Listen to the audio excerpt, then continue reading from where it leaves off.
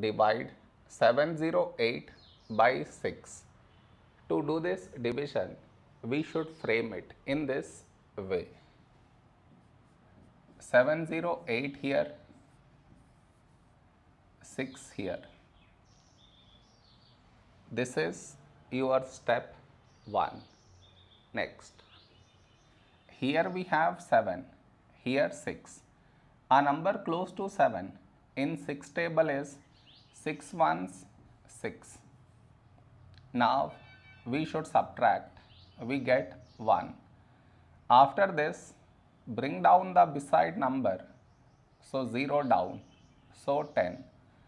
A number close to 10 in 6 table is 6 ones 6. Now we subtract, we get 4. After this, bring down the beside number, so 8 down, so 48. When do we get 48? In 6 table, 6 eights 48. Now we subtract, we get 0. No more numbers to bring it down. So we stop here. This is our remainder, this is our quotient.